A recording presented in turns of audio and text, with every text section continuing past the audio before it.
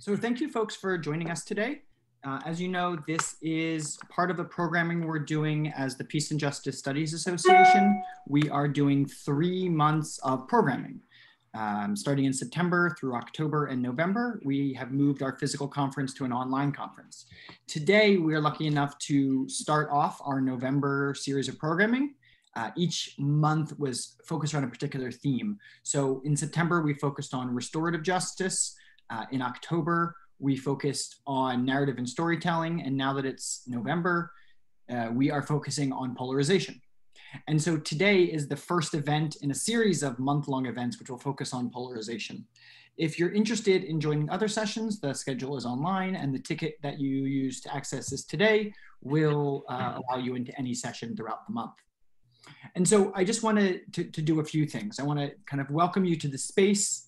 I want to give us a brief introduction to the topic, and then I want to, to pass the, the microphone over.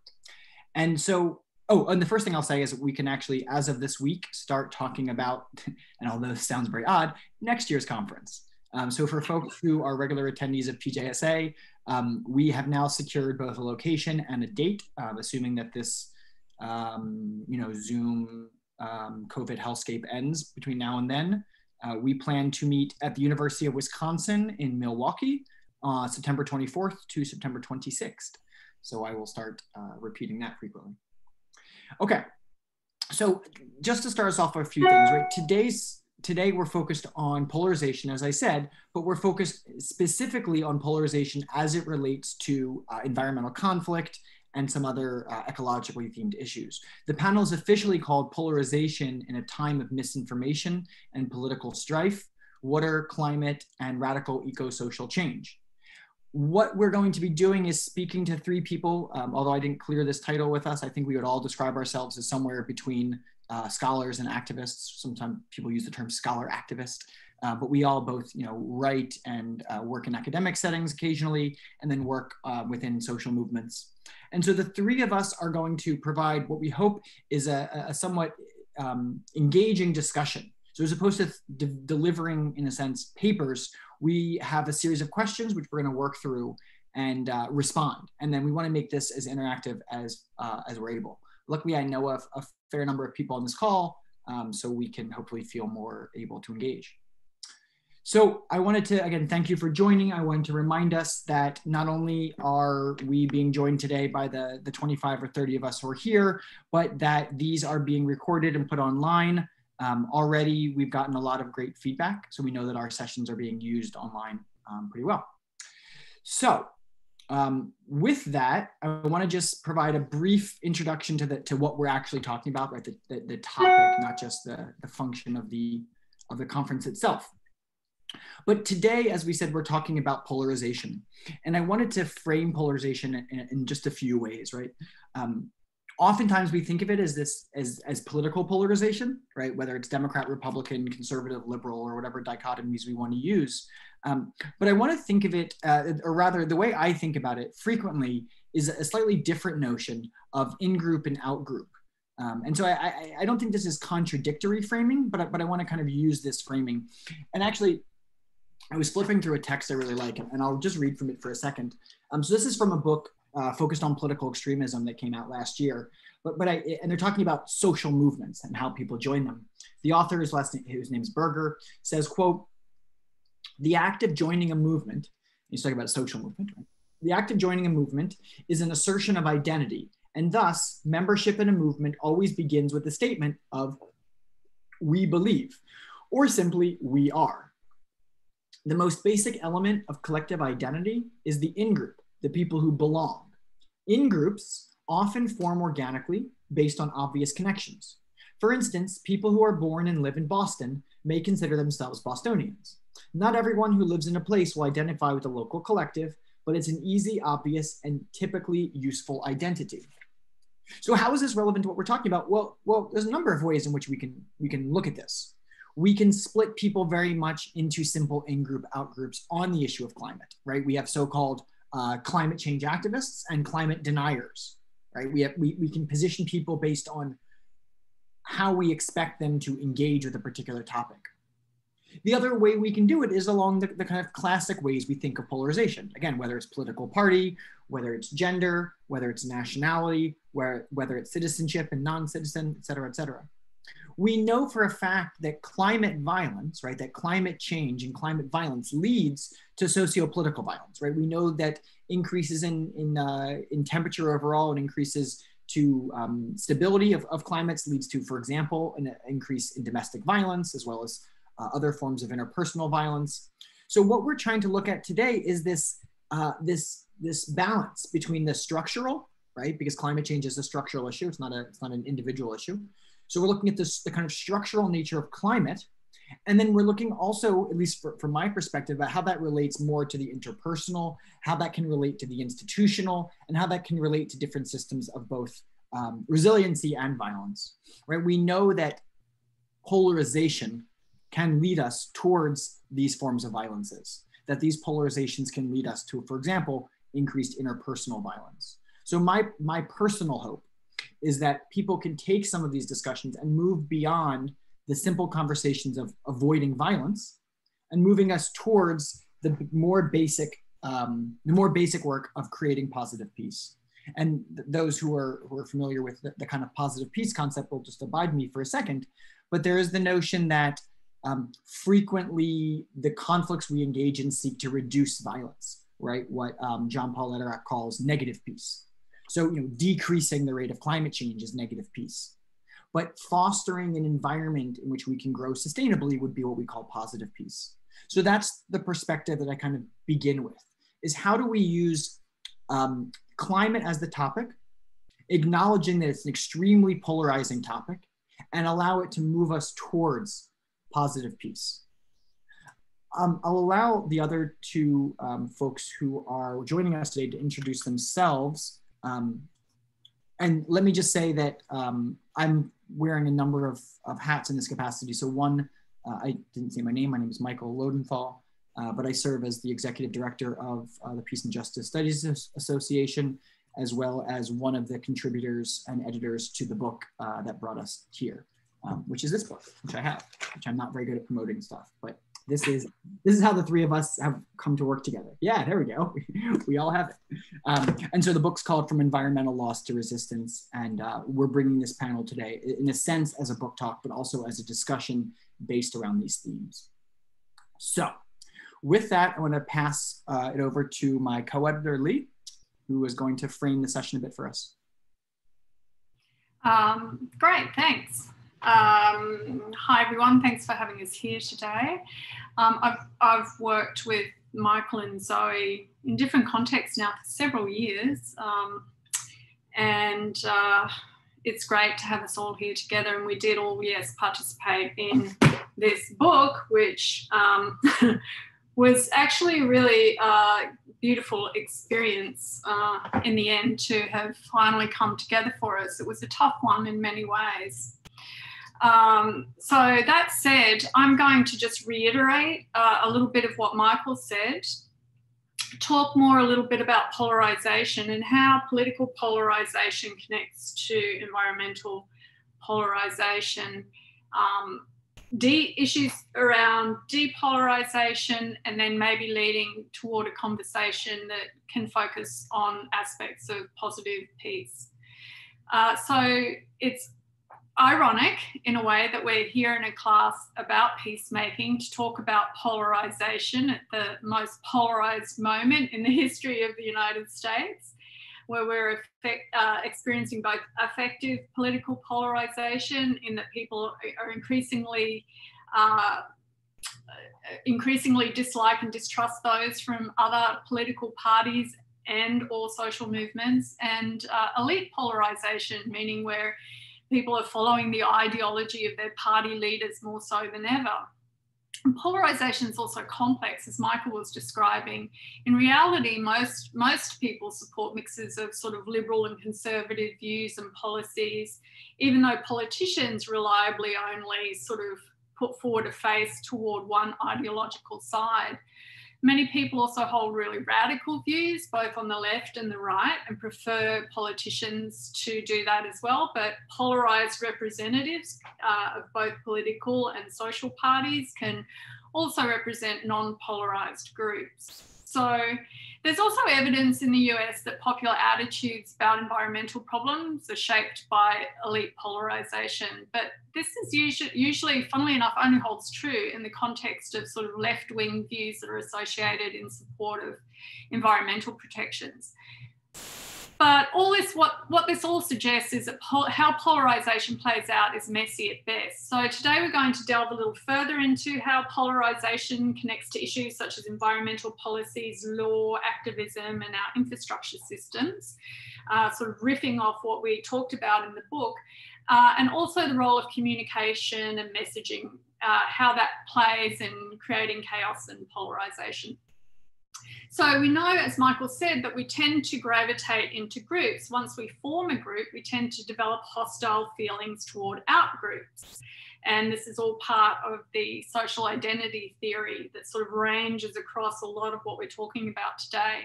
So we sort our value systems and ontological differences and opposing worldviews through as Michael was saying, racial and gender and age bias and religious and urban rural divides and all kinds of ways that contribute to situations in which outgroups are often considered the repugnant cultural other. So we're experiencing this now uh, through our partisan beliefs as they've become a litmus test uh, for our interpersonal relationships, our families, our friendships, our online networks. Um, so this this is both cultivated and has a profound fe- effect on media. Uh, and as a result, we we're becoming more and more polarized and also homogenous in terms of how we receive and respond to information. And of course, social media and news become echo chambers for that, that reinforce our worldviews and our biases. And as Michael was also saying, one of the most obvious examples of that sort of um, misinformation in a lot of cases is in regard to climate change. So we can link hundreds of millions of dollars of fossil fuel industry funding to climate change denial.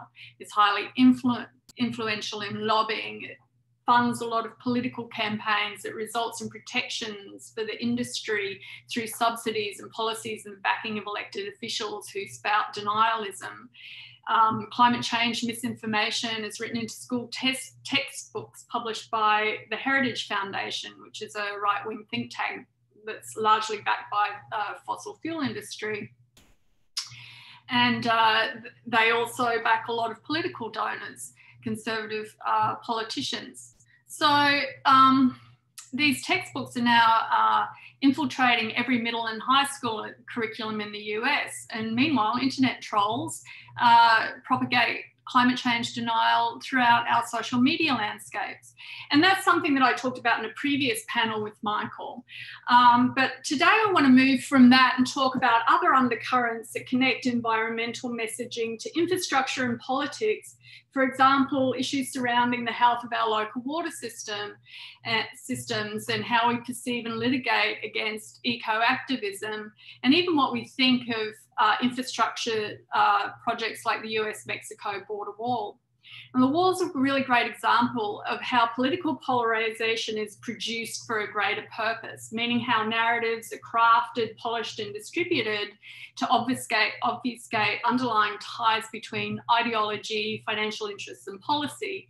So, in the case of the border wall, messaging is designed to elicit fear by connecting immigration narratives to xenophobia and racism. You know, they're drug dealers, they're rapists and murderers, they steal our jobs, they're coming to drain our healthcare system. And chaos is an active agent in this sort of messaging. We're predisposed to chaos when we suffer from social isolation and discontent. Chaos relates to interplays between status seeking and states of social exclusion and can be attributed in large part to rising inequality. And this may be one of the factors that explains why Trumpism is so successful in the US and gaining traction elsewhere. Chaos helps to produce the perception of a southern border crisis and thus paves the way for disaster capitalism to flourish. So, in the case of the border wall, we have political and ec- economic gain that are achieved by advancing selective immigration policies alongside securitizing border regimes. So, polarization and chaos act together to produce a hostile form of infrastructure in the service of the accumulation of capital. So, as we're ex- experience this distraction by the polarization and chaos circulating around the immigration rhetoric, the process of accumulation by dispossession, meaning the profiting from the seizure of lands, of rights, of resources, and even people through detention, moves forward. So, of course, the border wall existed before Trump, and he didn't even build that much of it. Um, but what has happened under his administration is an amplification of the chaos in concert with more overt political rhetoric that heightens partisan divides in an already extremely polarized environment.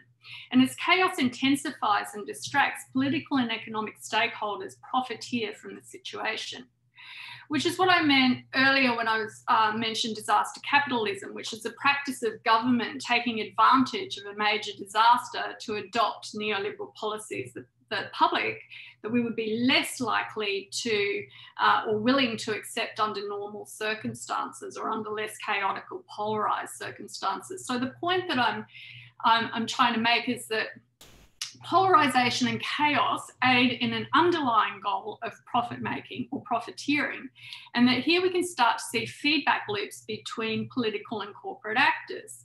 So, to go back to the uh, border wall example, Trump's family separation or zero tolerance policy demonstrates how hardline nativist ideology aligns with right wing nationalism for the purpose of profiting from humanitarian fallout. So, how does it happen? Well, as early as 2018, private contractors uh, ha- had been pa- have been paid around one and a half billion dollars to hold, house, and feed thousands of children forcibly separated from their families and placed in camps. Bethany Christian Services, tied to outgoing Education Secretary Betsy DeVos, charged $700 per child per night to rehome some of these kids in foster care. And the DeVos family, of course, is has long been influential in Christian conservatism and Republican politics. And that's just one organisation. About a dozen contractors operate more than 30 facilities in Texas alone, with numerous others uh, contracted for about 100 shelters in 16 other states. And if we follow the money around the wall itself, we see that the, that the um, federal government authorises numerous um, legal waivers to circumvent environmental and cultural laws like environmental impact studies, land rights treaties, and conservation area protections to fast track the construction of the wall and the panopticon technologies to surveil it that sort of goes along with it in, in a, opening up these trillion dollar profit making opportunities for commercial actors. And if we look at the key investors just in Sterling Construction alone, that's the company that won the contract to build the physical wall, we see Bannon, Trump, Pence um, have all uh, either substantially uh, benefited from direct or in, in indirect investment ties to Sterling Construction, as has other major players in his sort of satelliting universe. Uh, people like Robert Mercer, who's a major Trump donor and CEO, co-CEO of Renaissance, who's a significant shareholder of Sterling. The same is true of other major investors, including CEOs of BlackRock, JP Morgan Chase, Wells Fargo, and Dimensional all of who profited enormously from investments in this construction company as their share prices soared following the awarding of the contract. In counterpoint, of course, you have all these lawsuits that are filed to contest the expansion of the wall by the California Coastal Commission, the ACLU, Centre for Biological Diversity, and an array of, uh, of alliances of city governments, tribal nations, and others who for, have joined forces to oppose it. So we can discern that these sorts of polarized political and social realities and cultural discourses about power and control and ultimately profit have profound consequences, especially for poor and marginalised groups who live with environmental injustices and dangerous and hostile forms of infrastructure investment that result in communities not only being ripped apart, but in the tragedy of ecocide. So, how do we engage in depolarization in ways that go beyond reinforcing neoliberalism?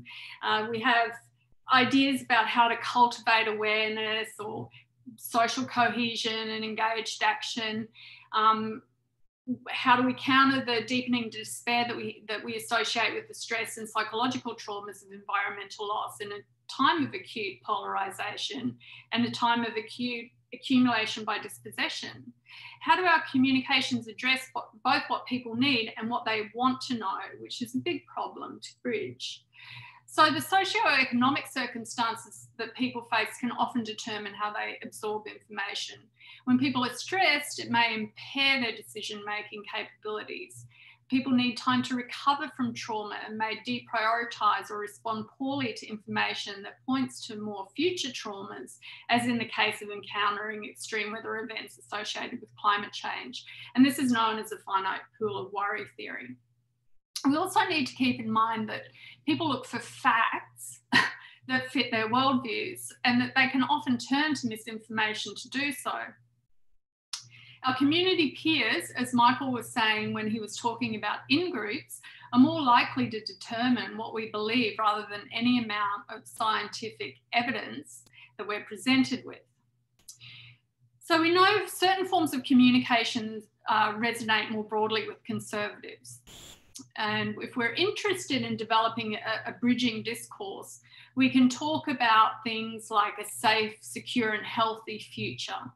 Um, you know, when we're talking about uh, renewables to conservatives, we can also talk about the Industrial Revolution uh, rather than demonizing it, recognizing it as a great achievement and correlating it to the new opportunities offered by renewables. We can also talk about resilience and security because they're core center right values. You know, the future security that rests on renewable energy sources and how they'll provide a safe, secure, long term job security security for engineers and technicians and labourers. And this is a language that speaks to efficiency and productivity. And it's important because it changes our mode of production. Even though it fails to address the underlying structural problem that's presented by capitalist paradigm, which is perpetual growth. So, but still, to move forward using bridging language that resonates with both conservative and liberal mindsets is necessary if we want to depolarize our conversations. When it comes to climate change, we can talk about um, you know we can we can talk about landscape and countryside to conservatives because conservatives tend to value the the aesthetic beauty of nature so this is a way of anchoring a wider conversation about climate change. We can talk about new dangers uh, because climate policies may seem to threaten the, the status quo, which is a big concern for centre right people. But climate impacts are a bigger threat so people are starting to recognize that. And if we talk about things like responsible courses of action and risk aversion, that's a language that really penetrates. Um, and people are more likely to endorse your argument. And moving on from that, we do all share one common belief, and that is it's important to preserve the environment for future generations. So, all this indicates that one of the most in my mind, one of the most uh, persuasive arguments for addressing anthropologically induced issues and crises is humanist in nature. Similar to environmental justice, a core premise of eco-humanism is that a healthy natural environment and access to nature is essential to maintaining a good quality of life. Human health, economic prosperity, social well-being, eco ecological protections all sort of form this big uh, bubble of what we have come to know as One Health. Um, so, how do we communicate effectively about the very complex and specific uh, issues associated with resource loss and degradation, trauma and recovery, and restorative justice. So, these are some of the questions I'd like to now pose back to uh, my colleagues. Um, and I, would like to start with you, Zoe. Um, you work in the water sector and you told me that one of the top bipartisan issues for many people on a national level is water and water infrastructure. Do you, do you want to talk a little bit more about that? Yeah, and thank you for having me. Um, it, it may be surprising that water is such a bipartisan, broadly popular issue, given that other environmental issues are so divided. But for a long time in this country, environmental issues were generally fairly bipartisan. Um, and things like the, the fact that the EPA was created under Richard Nixon. So Republican and Democratic administrations both had a hand in passing environmental policies. Um, and the caveat with that is that all US environmental policy takes place in the context of colonialism and environmental injustice. So the two parties don't represent many of the people that are most harmed by environmental issues, but um, environmental policy was generally something that crossed party lines in the past. But that changed in the last few decades, partly because, as Lee said, oil companies put a lot of money into controlling the discourse, particularly around climate change and making it into a much more partisan issue than it was before that. Um, but somehow water has kind of escaped that. It's remained an issue that has a lot of support on both sides of the aisle. Um, there was a survey conducted last year by an organization called the Value of Water Campaign, and they found that people's number one priority across all issues was rebuilding the country's infrastructure. And that beat out things like immigration, healthcare policy, terrorism. So you really see that across parties and regions and demographics, people are strongly in favor of investing in water infrastructure. Um, even as infrastructure itself is sometimes seen as kind of a, a democratic priority, although Trump diverged from that model a bit. Um, but water does enjoy very broad support. And I think that's partly because water issues affect everyone to some extent, although they affect vulnerable communities like people of color and indigenous people much more severely. But it is an issue that people can connect to. Um, there are also pretty widespread water challenges in rural areas, which are often more Republican strongholds. So that may be part of why it, it has a more bipartisan appeal. Um, but I think it's important to stress that water is an environmental justice issue and that it is vulnerable people who are being disproportionately affected by things like water quality challenges, water scarcity, and the climate related or water related impacts of climate change. So the fact that there's mainstream support for water policies is really promising. And it's an entry point for environmental justice focused policies to gain broad support. Uh, you also told me that there's an institutional tendency to provide sort of blanket or to engage with blanket messaging uh, when when trying to communicate to to communities about their water systems. And we know from research, in terms of talking about climate change, it's better to integrate these sort of best case, worst case narratives about environmental issues uh, into a single storyline. So we don't have a utopian or dystopian sort of messaging, but um, we have a sort of a more measured uh, uh, form of communication that, that's, I guess, more believable. Is that also the case when you're messaging people about water systems, or what is the most effective way that you see as getting your message across? Well, the, the challenge with communicating around water is a little bit different, but it, it is difficult to separate from climate change because so many of the climate challenges that we face are experienced through water, whether it's flooding, storms, drought.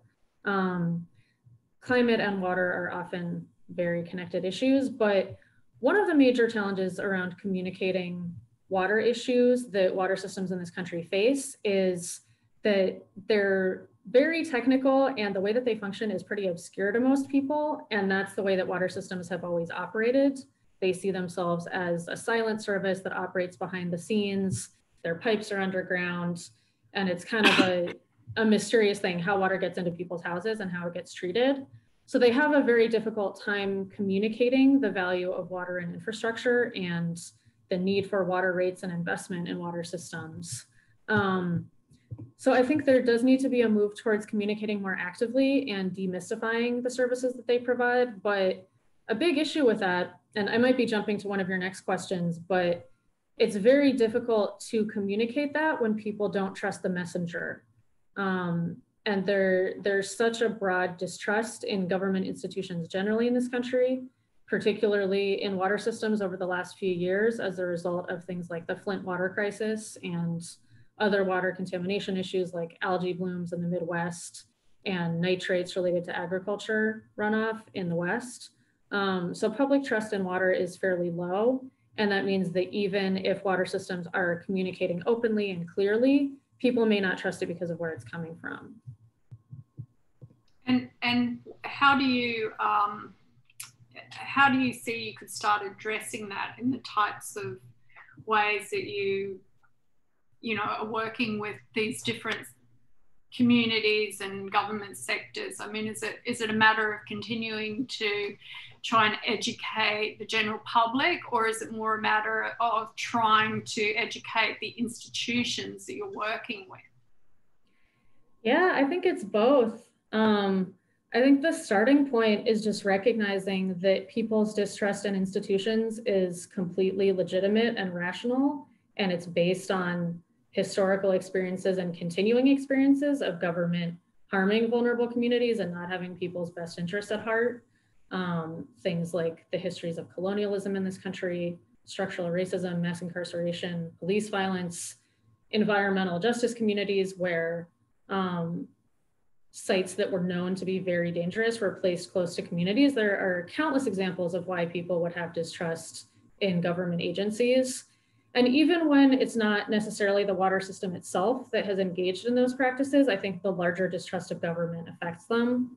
So the first step to having any kind of trusting relationship with communities is to acknowledge all of that harm that has been done and to avoid becoming defensive about it um, and just to recognize how how deep that harm was, how people were affected, and that people's distrust is coming out of self-preservation, and that it's a very rational response.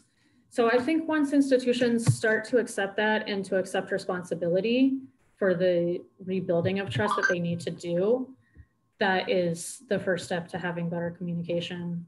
Um, and it is a question of there are things that communities could learn about the ways that infrastructure functions, but there's also a lot that water systems themselves stand to learn about how utilities or how communities experience their services, what kinds of challenges they're dealing with, and what kind of experiences and knowledge they have that the water system itself isn't able to know.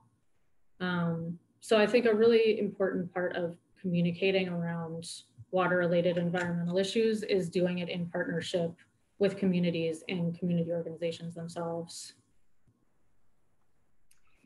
Michael, I want to ask you a question. What I'm going to ask you a question and then a follow up question. So, my question is also to do with institutional trust. Um, what you deal with in, in sort of two two diverging parts of the work that you do. One is as in you know your involvement with sort of eco activism or however you want to sort of frame that um, sort of part of your life, and the other side, which is sort of like the institutional work that you do as a professor or you know your work with PJSA. And so I'm just wondering how the interfaces with institutional trust sort of those dynamics work with you in those in those two roles and, um, and then after that, I'm going to ask you something more about sort of the, the political climate of eco activism and sort of more specifics around that. So, but first, if you could just talk more about general uh, institutional trust as it relates to you and these different hats that you wear. I'm happy to, to talk about that. Um, yeah, so I mean, I, I, I occupy a, a relatively unique position specifically in regards to this conversation. So I began, um, I, I, I, never, I should say this, I never intended to be a college professor. Um, never like, me either. yeah, it was never like something I, I thought of doing. Um, and actually, when I finished my master's work, I had done a large scale quantitative study of the folks we're talking about, environmental, well, the folks I'm talking about rather, environmental direct action individuals. So people who are breaking the law, operating in clandestine networks in order to uh, achieve some sort of environmental goal. So I'd been researching these these movements for for quite a long time. I had some friends and colleagues who were kind of tied up in them, um, and in the post 9/11 rush to call everyone a terrorist, uh, some of them got caught up in that criminalization. When I finished graduate school, I ended up uh, in Washington, uh, D.C., which is where I'd been living, and um, was looking for work. I was going to go back to bartending. Um, and uh, Georgetown professor reached out to me and said, "Hey, why don't you teach? You know, try your hand at teaching." And so I developed this course on terrorism, focused on on these movements, and it was successful enough that that we continued doing it. And ten years later, I'm still doing it.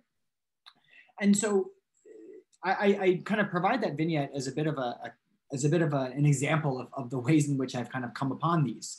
So I've worked frequently uh, providing defense for social movements engaged in what we'll call uh, environmental um, environmental activism.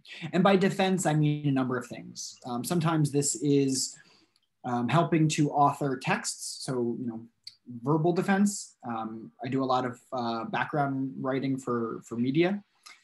Um, sometimes this is physical defense, right? We've worked with a number of, for example, forest encampments in um, in the UK as well as in North America, building um, physical blockade sites to prevent, uh, for example, pipelines being uh, built or to prevent trees from being felled for the purpose of building pipelines. Uh, some of this has been legal defense, right? I, um, I've done a lot of work researching how activists are prosecuted and charged. Um, so looking at just those three capacities, the kind of rhetorical defense, the physical defense, um, and in a sense, the, the legal and, and political defense, I often have to be very careful of which hat I'm wearing when, right? This moment in, in this um, Zoom seminar, you know, is a good example where I'm wearing the hat of both a professor of, of um, peace studies at Georgetown as well as the executive director of um, of PJSA, and, and a lot of the experiential knowledge I'm bringing to the table comes from neither of those. Right? It comes from my work as a as a, for lack of a better word, frontline activist. Um, so I feel like I'm constantly switching between those roles. Um, and there's a number of trust issues that both I have and, and, and my colleagues have. Um, so for one, uh, the activists I work with, you know, don't trust most people, and rightfully so. Just, just I don't mean to, to make that flippant, um, but you know, activists don't tend to trust institutions um, because most of those institutions have pretty explicit corporate ties or state ties, um, as, as Lee was speaking earlier about the, the funding. There's also the notion that you know the general public, so the people we're you know doing the rhetorical defense for, the people who are consuming the, the newspapers that we're trying to convince them through, um, you know, a, a lot of those people, the general public, they don't trust activists or academics. So if we're splitting that to a false camp, you know, they see the activists as uh, single-minded and they see the professors as biased. Um, the amount of times I have been called a biased professor has, has sort of escaped me to count at this point. Um, and, and again, I, I, you know, I've written on this academically. I've, I've theorized about why I think, you know, quote unquote, objectivity is not only impossible but not desirable. Um, and and I've kind of, at various times, to varying degrees, refused to play the game of pretending that I don't have views on topics. I don't endorse political candidates. That, that's not what we're talking about. But, but I do make it pretty clear that, you know, I, I, I support movements that are trying to increase justice. I'm not like, well, you know, I'm neutral on the issue of justice. Like, no, like I, am pro justice. Like, I, I, think that's an okay position to be in. Um, and so going back to, to, to, you know, the central question, I think it comes down to a question of, of trust within institutions. So I need the institution to trust me that I'm not going to be some sort of like, you know, radicalizing agent for, you know, eco saboteurs. I need the eco saboteurs to trust me that I have their interests in mind and I'm helping them develop legal strategy or I'm interviewing them for, for research. Um, you know, I need members of the of the media or policymakers to trust me that I have a general interest of, of, of security in mind and all three of those require highlighting different parts of who I am and, what I and what I'm offering. Um, you know, even the focus on security. So when I'm talking to one group of people, I'll focus on human security. When I'm focusing on another community, I'll focus on security for non-human animals in the environment. When I'm speaking to other groups of people, I will start by by, by um, challenging the traditional notion of security, the so-called state security, and then um, and then working back from there. So all of these things require kind of different foundations to speak from and, and different evidences to cite. So I'd say that kind of navigating those institutional things is a constant challenge. Um, and if I think of myself just in those three roles, right, activist Michael, uh, Professor Michael, and for lack of a better word, NGO Michael, those are those are not necessarily overlapping identities. They're they're intersecting for sure, but in the mm-hmm. in the Venn diagram that is me, um, some of those are are not overlapping. Yeah. That was a longer answer I meant to give. Yeah, well, it, it certainly resonates with me. I, I share a, a, lot of those thoughts.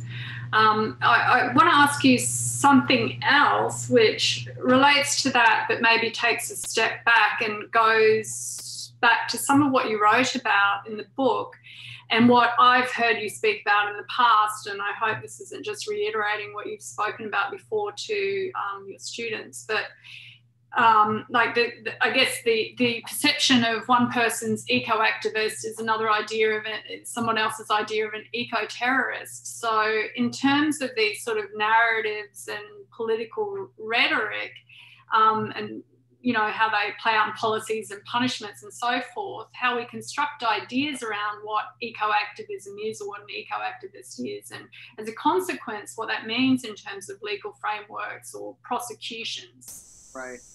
So that I mean, that's a really important question. Um, I've written a lot about this, so it's, it's always hard for me to kind of think about where to where to kind of answer a question of this nature. But but I think we can look, you know, if, if we can say popular notions of history tell us that environmental activism kind of rises to prominence late 1960s, early 1970s. It, it, in a sense, it becomes, uh, it operates on a relatively, and I say relatively, because I, I don't mean um, that it's free of, of, disturbance, but relatively uh, free to operate throughout the 70s and 80s and 90s. With, with the, the somewhat ex- caveat exception of the anti-nuclear movement receiving far more repression than it, than it should have. But once we get to the late 1990s and the early 2000s, what we see is that there, there becomes a very intentional effort by um, multinational corporations to reframe environmental activism as something different than other forms of activism, right? Again, it's, it's not as if there's not other activists that exist in this time period. We have, you know, very militant groups. Let's say, for example, ACT UP, which is, you know, pushing, um, you know, AIDS awareness and, and AIDS and HIV awareness and activism. We have, you know, groups like, I don't know, the Sea Shepherd Conservation Society, which is, you know, scuttling whaling boats and putting landmines to sink uh, uh, whaling fleets you know, it, it's not as if, and, and just to look at a radically different example, we have groups like, you know, we have the anti-abortion movement who in the 1980s and 1990s is on a somewhat regular basis murdering abortion providers and engaging in other forms of, of, of, uh, of violence.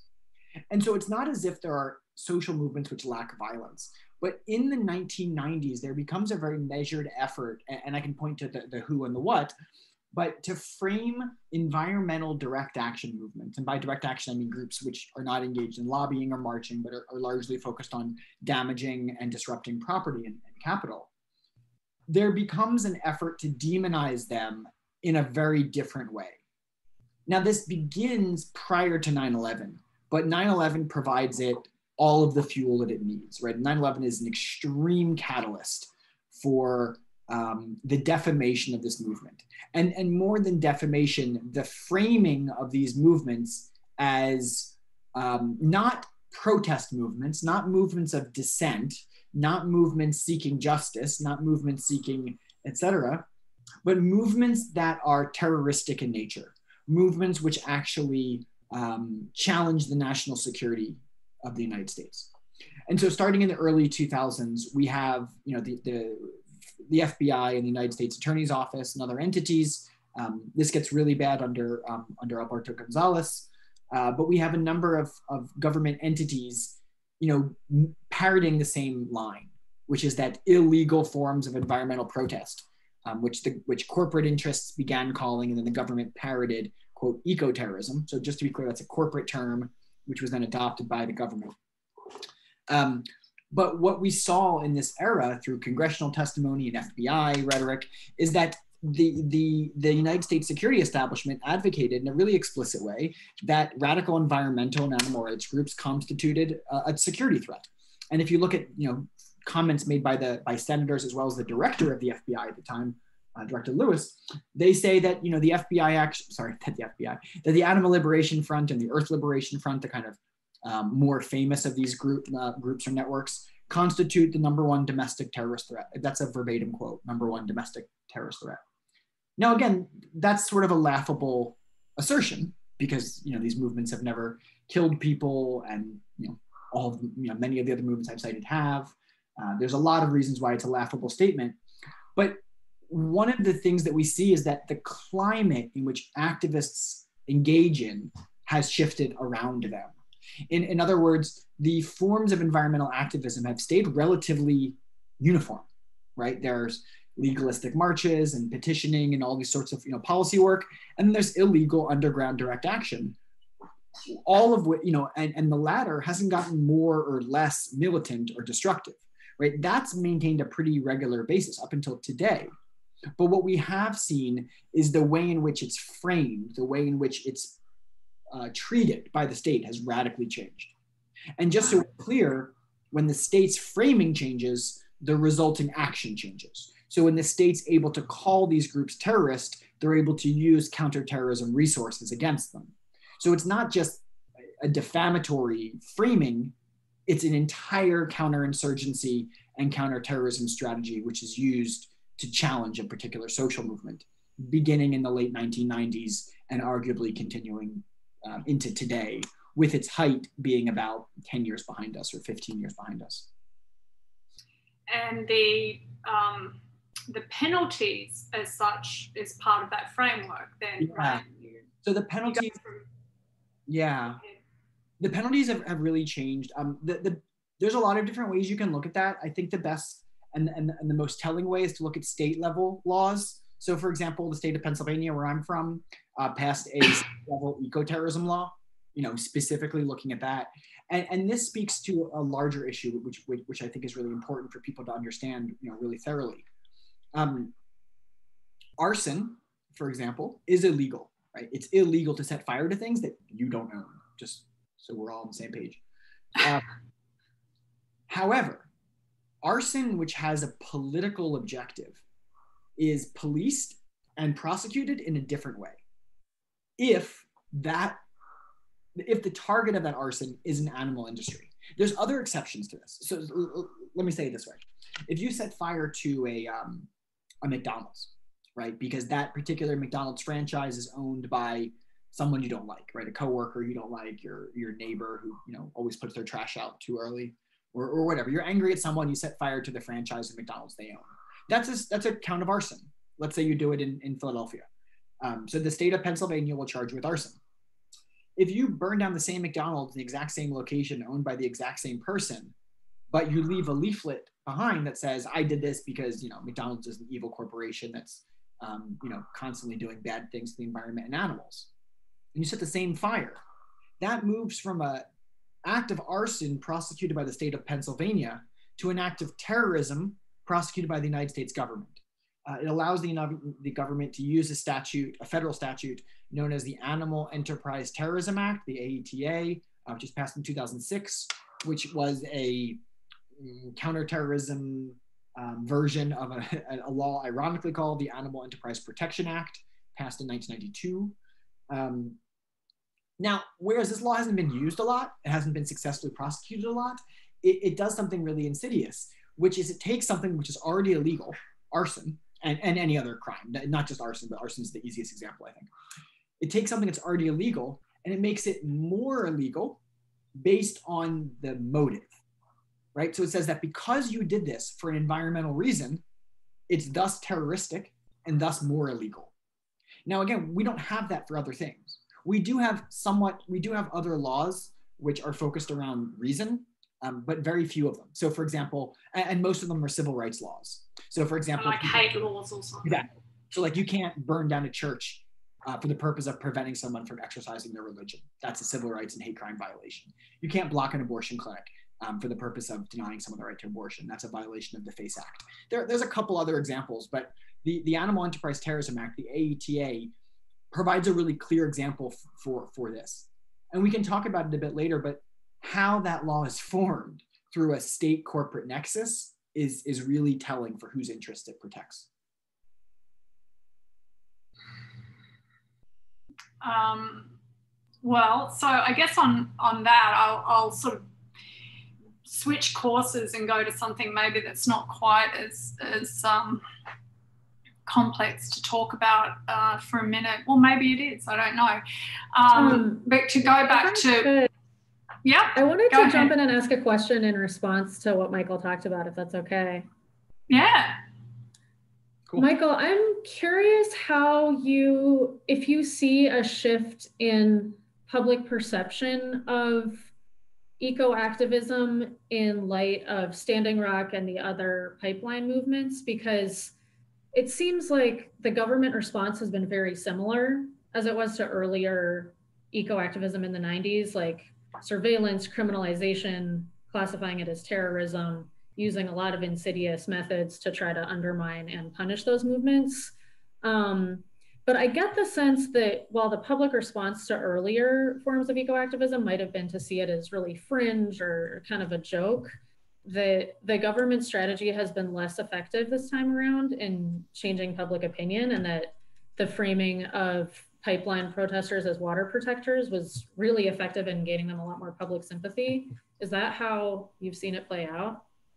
Yeah, I would say that's exactly that's actually a really good summation of it. I think that the treatment in the law and through and through policing has been the same. These movements are heavily surveilled, they're heavily infiltrated. Um, the government, uh, specifically the FBI, sees them as a major security risk.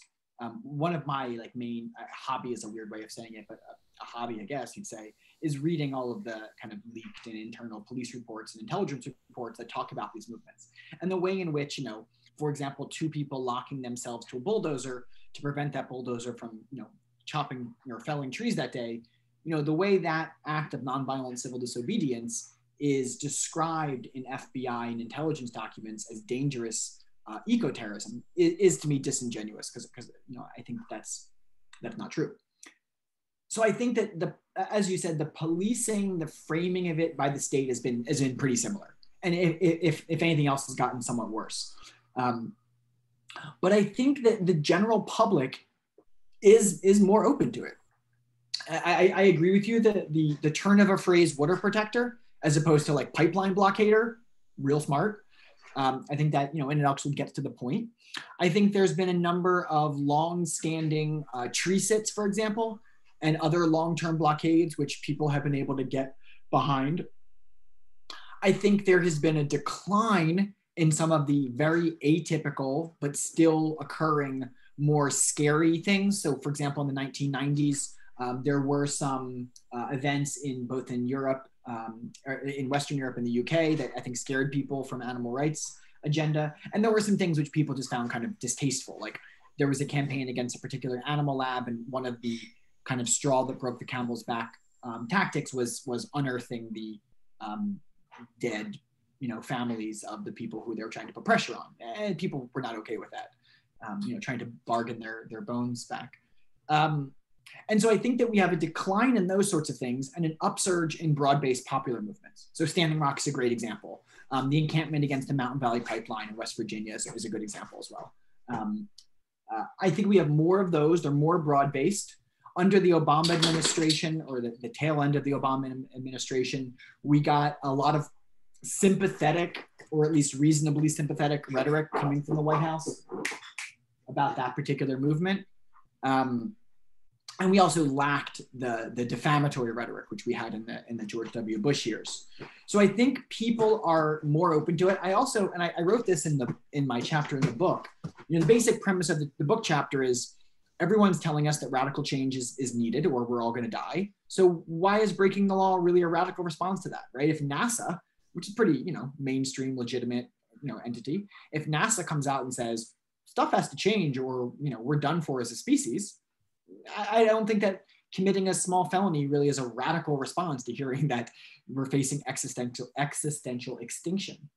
Um, but moreover, one of the things, you know, it's, it's, sort of a brief part of the chapter, but I look at positive portrayals of you know, so-called radical environmentalists in the media. And, and, you know, I haven't been tracking this for a long time, but they're definitely increasing.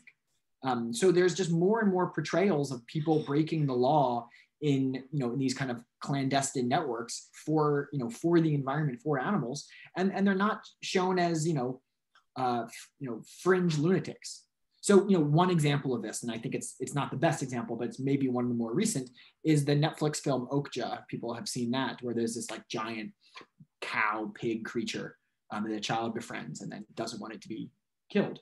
Um, there's a scene where you know eco activists, you know, in balaclavas and and you know um, you know take this animal. And again, the fact that that's able to be shown in, in a positive light, I think is something we couldn't have had, you know, 20 years ago. There's also kids movies which show, you know, things like tree spiking and vehicle sabotage in, in a way that's like positive.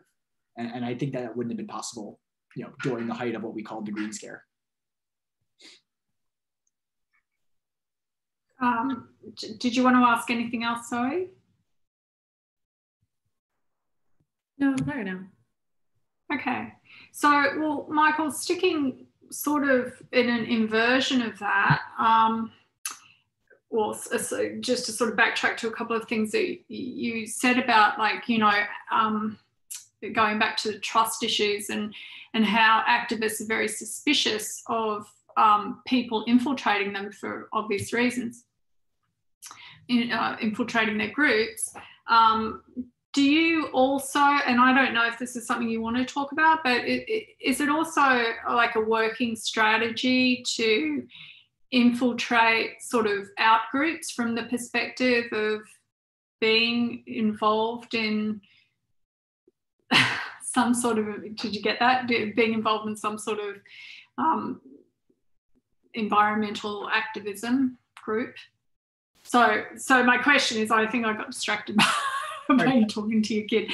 Um, but yeah, so it, I know that in other contexts, you study sort of, you infiltrate out groups, right? So I'm wondering, is that a strategy uh, from the perspective of environmental activism? If that's something that that you know is possible to engage in as a as a strategy to sort of com- combat threats to your in group, so to speak. Does that make sense? Am I make, do you understand what I'm saying? Makes sense. Um, I mean, certainly, if you know the, the left and the right are constantly infiltrating each other, um, and that and that's sort of been a cat and mouse game for a long time. So. Um, you know what you're referring to is is is leftist networks you know infiltrating and focusing on what we call the far right and, and certainly that's occurring a lot and there's interesting crossover with far right and environmental stuff we could talk about if we have time um, I, I haven't seen as much of what you're referring to as I think is is possible. So, for example, you know, in the '90s, it was far more, and even in the 2000s, it was far more common um, for, for example, people to get, you know, whistleblowers to get jobs at Hormel or you know Pacific Lumber, you know, some some corporation, and you know, where, a microphone or a camera and you know collect some you know evil evidence um, this is one of the, the ways in which a lot of evidence was built against Huntington Life Sciences, the large animal lab. Um, I, I, don't see a lot of that occurring. Um, certainly, it's fictionalized a lot. Uh, a film I like to use in class to just to to show kind of how this is ludicrously filmed, which coincidentally was filmed by a Georgetown University student, um, is a film called The East, which is a really terrible piece of film um, supposed to show uh, anarchist eco saboteur networks being infiltrated by corporate agents. Um, and, and so there, there's there's frequent portrayal like that. Every like NCIS and Law and Order type show has one episode about this. Like literally every single series has one episode of the eco terrorist, typically modeled somewhere along the Ted Kaczynski, um, the the Unabomber kind of story. Um, and he himself has risen in popularity a lot through a Netflix series. Um, so so I, you don't see a lot of it. The closest thing that I, that I see, which is really different. So you know, besides the you know lefties who get jobs at Hormel and, and take pictures of people abusing animals and things like that. So outside of that, um, is you have groups that do kind of performance theater about it. So you know, the one that comes to mind is the Yes Men. If people are familiar or not familiar with them, um, who you know basically weasel their way into corporate functions to get invited as representatives of corporations, which they are not actually representatives of, and then use that as a venue to kind of show the absurdity. Um, you know, this is similar to like what the Guerrilla Girls did in the 1990s in terms of like combating sexism in the art industry. Um, but outside of you know the Sacha Baron Cohens of the world and the Yes Men of the world, I, I don't see a lot of that. And at least Cohen isn't seemingly focused on that. He's focused on embarrassing conservative politicians, which which is like a fair thing to be focused on, but but that's not you know he's he's not trying to get into Bechtel corporate meetings and things like that in the way that the, the yes men have been. Right, right. Okay, so I'm going to pivot back to you now, Zoe, and sort of talk more about um, again about sort of maybe messaging um, how how you're looking at using certain language when you're communicating um, to, to people or groups. Um, um, and, and I know that you, when we talked in the past, Zoe, you were talking about things like um, terminology that you use in messaging, um, like climate change or sustainability. Um, you know, if they're terms that you should that are effective to be using, or if they're if they're um, if they're irrelevant, and if you can communicate things in a way without using that, that terminology to get your message across more effectively? Yeah, well, I think it's really a question of how you frame climate change as being connected to other things people are experiencing. And I think you mentioned earlier the, the fact that often people are dealing with so many different kinds of stressors that they may not prioritize climate change or environmental issues as especially high on the list because many of the people that are most affected by climate change are dealing with a lot of other cumulative impacts like poverty, unemployment, incarceration, um, other kinds of environmental injustices that aren't directly climate related. So when you just approach it as, you know, climate change is this global issue we should be concerned about, it may not be a top priority for people because they are overburdened by other things. And it's also hard to separate out climate from some of the other challenges. Like I last year I was doing research in the Central Valley in California, and I was talking to a lot of people who lived in rural areas and whose wells had gone dry during the drought, like four or five years ago. Um, so there are people who had lived without running water for about a year since their wells went dry, um, which was directly a result of climate change. It was the most serious drought in California history. But since their wells um, started to have water in them again, many of those people are still living without running water because the water in their wells is so contaminated by agricultural runoff from the big farms in the Central Valley that they're not able to drink it at all. So the issue of access to water for them is somewhat tied to climate, but it's really inseparable from um, natural resource contamination and the lack of accountability for corporations. And I think that's often the case. You know, many people who are impacted by floods and extreme storms, it's tied to climate because of the frequency of the storms.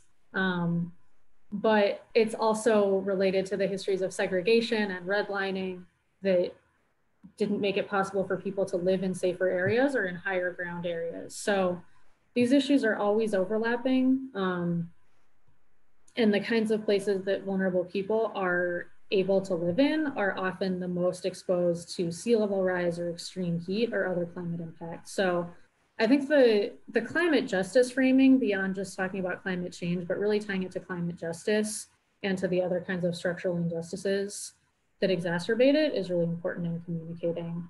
Um, and that's something that I've really learned from Black-led environmental climate justice movements.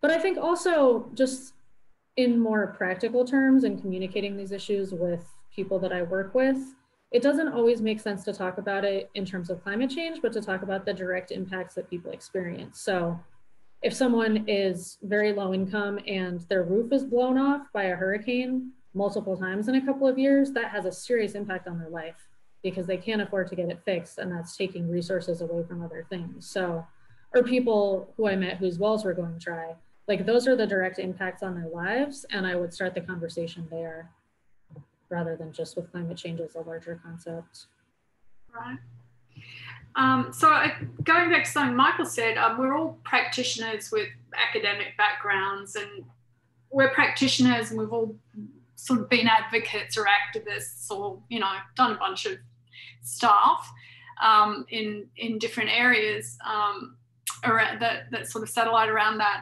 Um, so as practitioners, and when Michael and I started thinking about putting this book together, we were very clear about one thing. if there was one thing we were clear about, it was the fact that we wanted to work with practitioners rather than sort of academics, so to speak.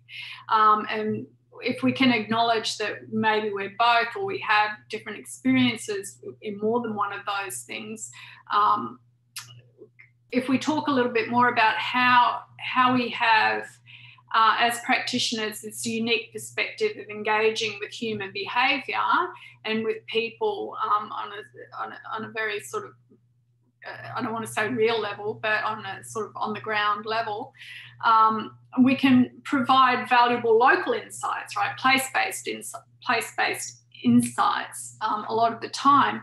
Um, but we can work with, uh, you know, other scholars and academics to sort of develop wider partnerships or coalitions or networked um, uh, transnational other types of scholars and coalitions that can design and analyze research and produce new insights and uh, maybe uh, sort of spot limitations that we have as practitioners or to be able to help secure funding. Um, and so there may be advantages to bringing scholars and practitioners together, so combining um, expertise and, you know, obviously the, the ability to have a real world impact impact with that or build capacity is of most important. Um, but do you find that that sort of growing these network coalitions. Um, people are maybe interested, or theoretically, we may be interested in collaborating, but is finding each other and connecting with others who have common interests to bring value to a sort of specific context harder than it might seem? And if so, why? And that's a question to both of you. So Zoe, you're on camera, so maybe you can answer that. Oh yeah, it just put me on camera. Yeah, I mean, I think there's a, a ton of value to be had from collaborations between practitioners and frontline communities and academics, especially in trying to move policy change because the unfortunate truth is that policymakers are much more responsive to knowledge that comes in the supposedly prestigious package. Um, and I think that should change and community experience should be more valued. But for the time being, researchers can use the prestige or the influence or the networks that they have um, to bring these issues to the attention of people that have the power to change it. I think that one of the challenges in doing kind of community research collaborations effectively is just addressing the inherent power dynamic between researchers and communities. Um, since researchers are often connected to an institution, they may be better funded and just have a little more, um, like I said, access and prestige than the people that they're interacting with. But I think that that can be overcome by trying to be transparent about the resources that are available and making sure that if you're asking people to participate in your research, that they're being compensated for their time as well and that they're part of the decision making about what's being researched and why to make sure that it's actually meeting their goals and it's not just providing material for someone's dissertation that doesn't advance the objectives of the community that's participating. Yeah. Go ahead, Michael. Yeah, I mean, I would agree with that entirely.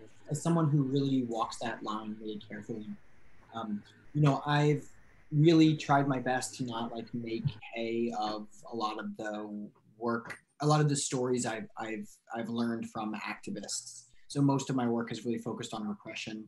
Um, you know, partially because it felt kind of uncomfortable to kind of use their stories as a way of, of, of, of building my own work. So for example, um, in my, my master's work, you know, was heavily informed by interviews with, um, with members or, or self-described members of the Animal Liberation Front, you know, none of which I published. So I used that to kind of provide background. And then sort of summarize that background in the study but you know I, I didn't in a sense do anything with that. But i think that these sort of partnerships are really essential because there are certain things which which we're given access to right? So as as a um, as an activist we have access to the stories of other activists in ways in which other academics or policymakers may not have. And so you know one of the when I think of like who's doing this well, I, I can think of a ton of people who are doing this really poorly. A lot of people who, you know, are very extractive in their work, you know, who kind of like take these sensationalist stories and kind of run with them. Um, there's a lot of a lot of that that's bad.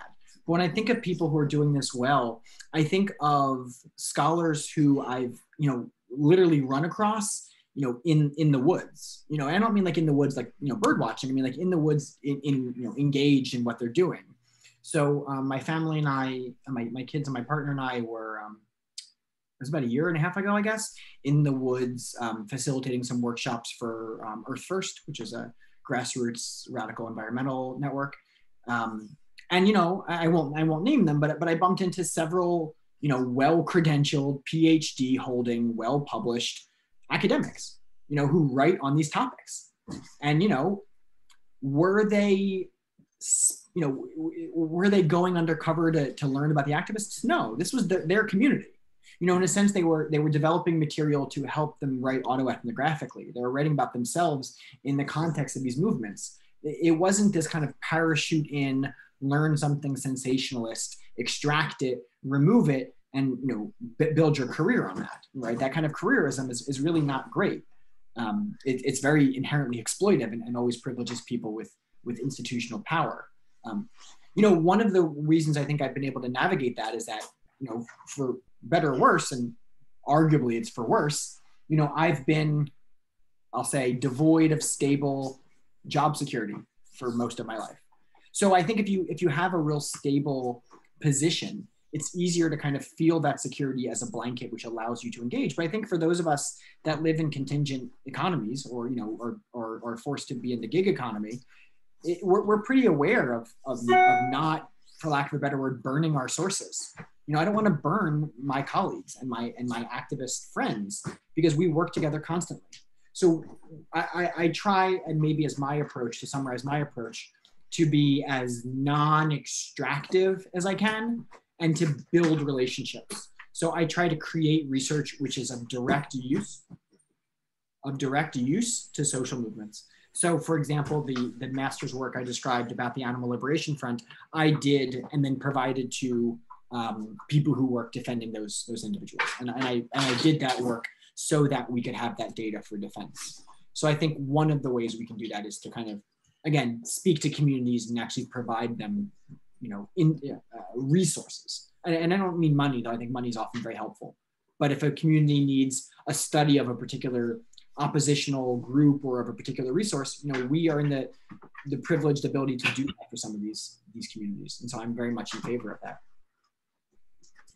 Yeah, my myself uh, as well. I I think I spoke about this in the last panel that um, we were on um, about some work that I did on with um, Dene, with Navajo Nation um, around uh, uh the 30th anniversary of the Church Rock spill and um, how we facilitated a whole lot of work that was helping people build their resources to tell their own stories about environmental injustice uh, around this this uh, you know the, the, third largest um, radioactive spill outside of Chernobyl and, and Fukushima. And at that point in time, because it was back in like 10 years ago now, it was before Fukushima.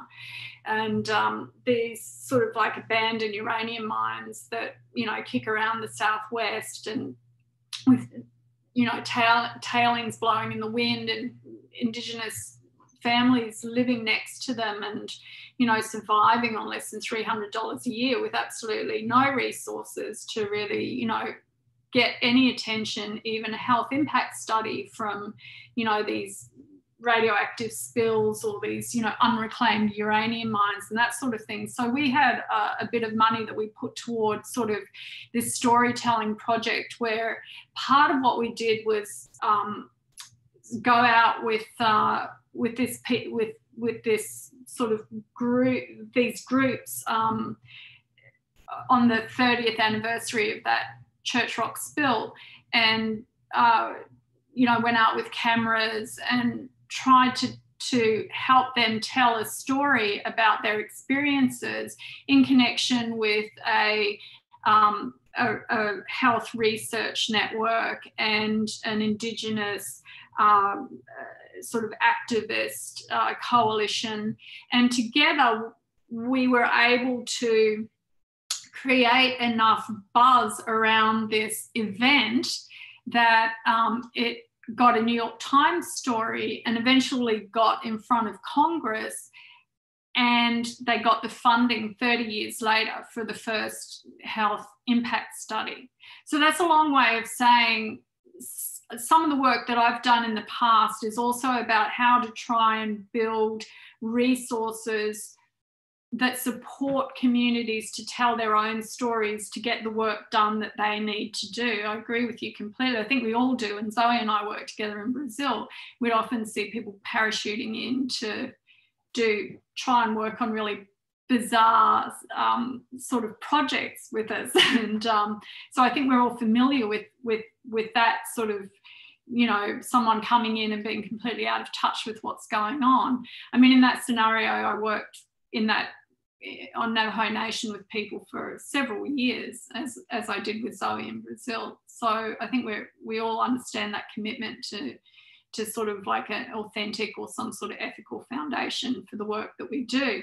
And that being said, so envir- so scientific information may matter, right? Like in that in the context I was just talking about, where we're trying to gather data for for a legal defense. Uh, so you said, Michael, for me, I was trying to sort of, you know, create a, a result with a health impact study and, and, a, and a mine cleanup, uranium mine cleanup. And um, so presenting scientific evidence may matter, but it doesn't always matter. And sometimes it, uh, it, it has a boomerang effect and people have have a, a sort of a, a knee-jerk reaction against it. So there's there's ways of framing issues that are, are, about storytelling or emotional connections or connections to nature or environmental degradation or to non-humans or sentient beings that can increase public support for a position and actually move to res, a result from that perspective. So um, and I'm sure in what you what you do, Michael, in particular with your work with animal advocacy, um, that that's a big um, that's a big part of um, what drives people, and also the the results that you're looking for come. I imagine probably more from an emotional connection to the subject rather than a sort of data related um, data related information that you can give people but that may not be the case because i've also heard you talk about data and how important that is in pitching a sort of an argument certainly about like eco-activism and and non-violence in relation to how it's portrayed in in the media and these by these institutions. Do you want to say talk I, a little bit about that? Sure. I mean I, I think it's it's a it's a fine line to to walk right? Um, you know i'm very much in, against the um, um, sensationalism, right? So you know, and and I, you know, I don't, and I write enough that people can like verify this claim. like I don't start anything I write with some you know deep dystopian portrayal of where we're at. You know, and some people do, and, and I think that can be effective. You know, certainly writing about animal issues, people can start their chapter with you know by the time you finish reading this sentence, you know, X number of billions of animals are killed for human consumption you could write like that. I, I don't. Um, but but I do think that the data. So so I think that there's the kind of the data to overwhelm strategy, which is kind of that. But I, I do use it to show, for example, empirical backing to rhetorical claims. Right. That's a big, mm-hmm. a big part of my work. And so right. I say, for example, just to keep it on the same topic that I was speaking of earlier, if I say, despite uh, their framing by the FBI, I do not believe that the Animal and Earth Liberation Front should be classified as terrorist organizations, despite the fact they're not organizations. We can put that aside for a minute. Um, but, if, but if I want to contest their framing as terroristic, you know, I need data for that. The FBI's data, you know, would say that 75% of their actions involve terrorism. Well, that's only true if you only count, you know, the acts of terrorism. So, so let me put something out that, that's somewhat obvious, but, but I think it's worth thinking about for a second the FBI and the media um, base their analysis on prominent incidents. So large scale arsons, the theft or release of animals, uh, damage to laboratories, etc. What they don't account for are all of the small acts of vandalism, sabotage, and other things. So when you only look at the sensational, you discount the mundane and thus overinflate the occurrence of the sensational. In other words, if you look at the movement as an aggregate, you can find that, you know, so-called terrorism, so for example, sending uh, explosive devices to, to lab technicians or setting, you know, putting uh, incendiary devices in the personal automobiles or boats of, of um, board members of companies. You know, I think many people would argue that those are very terroristic. Those things occur, but they occur in minuscule quantities, right? Single digits, you know, one to 2% over the last 30 years. Um, so it's not to say that that doesn't occur, but it is to say that to classify a movement, uh, a global movement by its 1% tendency is, is inaccurate. And so I use data to make those sorts of claims because I mean, who are you to, you know, who am I to be believed uh, as opposed to the FBI? You know, why would anyone believe my data versus the FBI's? Well, for one, my data is transparent. I'll show you every single incident that's ever occurred, the date, location, et cetera. And, and that's been my strategy. As I say, like, I know I'm arguing against giant stoic institutions with large institutional memory. And I'm just this guy. So like, here's all the data. Like here's literally 80 pages of appendices showing every single chart you can imagine. You can look at the data any way you want. So, so I've, so I've tried to balance providing people with quantitative data to back up the rhetorical claims I've made. And I've tried to balance that with, with what you spoke of earlier, the emotive. Um, and, and, you know, I really try to, like I said, avoid the kind of in, in, in my small subculture of, of um, we have a term which is probably not used outside of my subculture called riot porn. Um, this is like, you know, people who collect and circulate images of, you know, riots, yeah. Things on fire and broken things. Um, you know, a similar concept is, is poverty porn. The, the two words together are somewhat jarring, but, you know, I try to avoid that. You know, the like pictures of small children, typically who are not white, typically who are not in so-called first first world nations who you know look sad and marginalized you know i, I don't i don't do that um, yeah.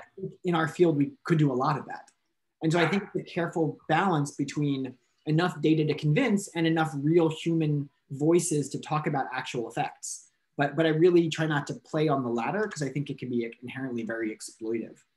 Um, yeah. like yeah. disaster porn that sort of disaster porn is probably better than poverty porn but yeah.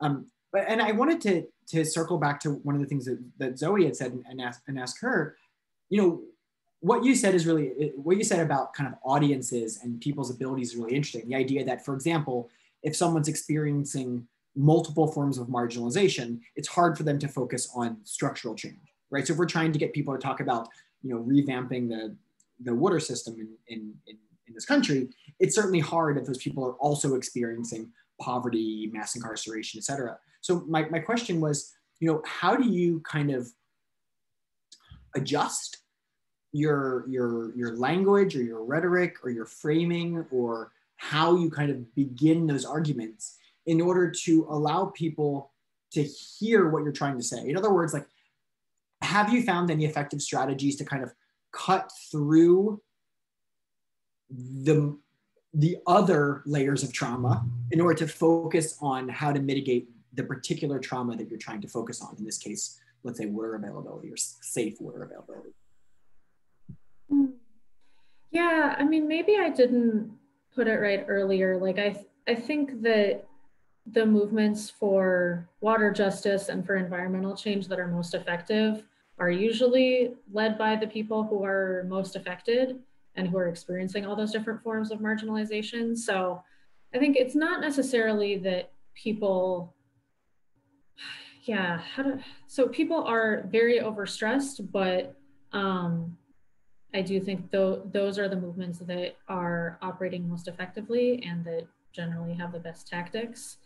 But I think just approaching those conversations with an awareness of the trauma that people are dealing with and not just assuming because this is an infrastructure issue that it's something kind of boring and technical and that it's not connected to people's day-to-day lives and survival um, i think that's a, a more effective way to have the conversation. I'm not sure if that answers your question it, it does i mean for, for me it's I mean, I'm, I'm personally interested because, I, as I said before, I'm always talking to different kinds of audiences. And, you know, frequently, you know, especially if you're talking to people who see themselves as, as, as marginalized, whether or not that, a lot of times what I, what I hear when I talk to people about this or, or other issues is like, I don't have time for that. I'm worried where I'm going to pay my rent next week, or I don't have time for that. Mm-hmm. You know, my house is on fire. You know, metaphorically, and I and I I get that. Like, so so what I'm I guess what I'm trying to get maybe selfishly is like, what have you found is effective? Because it seems like since you're so, since you're primarily focused on something like water, um, it's a particular challenge. Because as you said, it's mysterious. It comes out of the tap until it doesn't. Mm-hmm. Um, it's not something we think about being available. Mm-hmm. Yeah, I think it's all about partnering with the people who are already water justice advocates and who understand the way that it affects their communities. Um, and a lot of people that I work with don't really intend to go into water. They don't uh, plan that at the start of their career, but they end up finding it through other kinds of challenges. Like I worked with someone who runs a food bank in West Virginia, and she never really expected water to become a key issue, but she found that bottled water was the most requested item that she got above food or household stuff or anything else. So through that, she started to realize how many people were living without running water or with highly contaminated tap water that they couldn't drink. And through that, she's become a really powerful water advocate. Um, but I think people often the water what the water crisis comes to them and they already have an understanding of the kinds of injustices that the community is facing and then they see how water fits into it. So following their lead and how they frame it is usually helpful. Thank you. That's super helpful. Lea, did you have a yeah? I have a couple of questions left, but I'm also aware that it's 3.30 and that we we have only to go until four o'clock. But maybe I'll just I'll just um, put a couple of things out there in case you'd like to comment and um, uh, and then you know we can we can sort of turn it over to people if they have questions. But one of the things that I, I wanted to ask was, you know, we've just been discussing trauma. So, um, how does trauma affect us? Personally, I mean, Michael, when we first started doing this book idea, you know, developing the book idea, it was related to trauma as practitioners in the work that we do. And even though this is a sort of maybe a little one step removed, um, the stuff that we've just been talking about. But when we're looking at um, the traumas that we face or the communities that, we interact with face, um, you know, whether their houses are burning down or the roofs are getting blown off or, you know, they've run out of water or they're facing all these slew of other other issues that that um, Zoe was and you were just talking about um, or just the general malaise that we all feel because we see our planet slipping away from us, the, health of our planet. How do these sorts of traumas affect us and how or you guys really uh, how how do you remain active rather than paralyzed by this trauma and how much does empathy or the need for emotional support from your communities or um, play into sort of keeping you active and whole in the work that you do? Sure, I can I can speak to that. Um, I mean, certainly, as you said, you know, when when when Lea and I started this book, you know, it was about trauma. I think we had both. I actually found that outline we had made a couple weeks ago when we did the other talk, and uh, we had originally called it "From Bethlehem to Brazil." And right. we are going to talk about work I was doing in the Middle East, and you were going to talk about work you were doing in Brazil. Um, I think what came to mind for both of us was, um, you know, what people like Galtung called direct violence. You know, muggings and murder and police violence and military violence. We were going to talk about that and how trauma informs activism, and then it, it morphed into what we have. In, in, a sense, my my chapter didn't morph you know, like I took the lazy way out and, and, thinking about that. Maybe I just made that connection in this moment.